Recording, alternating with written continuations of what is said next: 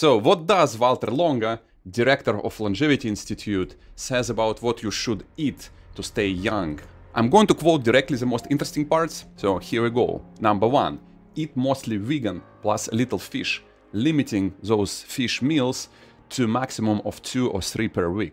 Number two, if you're below the age of 65, keep protein intake low.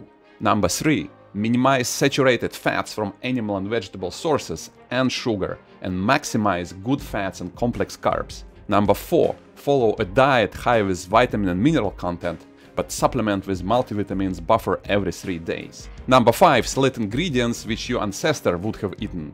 Number 6. Based on your weight, age and size, decide whether to eat 2 times or 3 times per day. And number 7, confine the eating window to a 12 hours period and don't eat anything within 3 or 4 hours before bedtime.